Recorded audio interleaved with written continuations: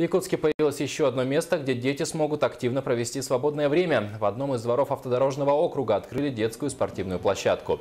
Ее строительство началось в середине лета. Площадка оборудована современными качелями, горкой, домиками, песочницей и скамейкой. Территория огорожена, установлены урны. В облагораживании территории участие приняли и жители дворов. Возводили же объект по федеральной программе формирования комфортной городской среды. Как вы можете заметить, да, у нас вот одно из самых таких больших по площади дворовых территорий. И э, вот проект сам очень хороший, потому что здесь вот есть горка Mountain. Это вот сам объект э, деревянный, да, выполнен в таком стиле. Ну и, в принципе, вся площадка выполнена в таком стиле. Да. Жители очень благодарны, очень рады этому объекту.